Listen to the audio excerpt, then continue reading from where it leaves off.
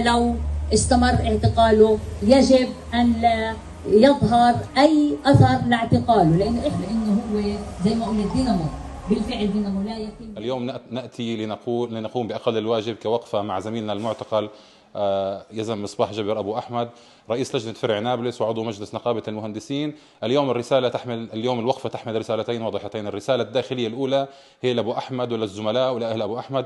إحنا إن شاء الله رب العالمين راح نكمل المسير على الضرب ما دون كل ال ال يعني الأعباء التي يعني ألقاها اليوم أبو أحمد علينا بغيابه بإذن الله رب العالمين سنوزعها بيننا كأعضاء لجنة فرع وكاعضاء مؤتمر عام وكأعضاء للجان المساندة في لجنة الفرع للقيام بأفضل الواجب ولتستمر الأعمال إن شاء الله. كما أن أبو أحمد معنا وزيادة كمان. هاي الرسالة الداخلية. أما الرسالة الخارجية آه، للاحتلال آه، هذا الكلام لن يثنينا عن القيام بواجبنا النقابي الوطني المجتمعي. وبعد خروجه من لجنة الفرع اخترع فكرة أنفاس الحياة وهي يعني في أثناء فترة جائحة كورونا كان المبادر لتأسيس فكرة أنفاس الحياة. لأنه إحنا أقوياء وبنصمد ولن يكسر عزيمتنا أي شيء.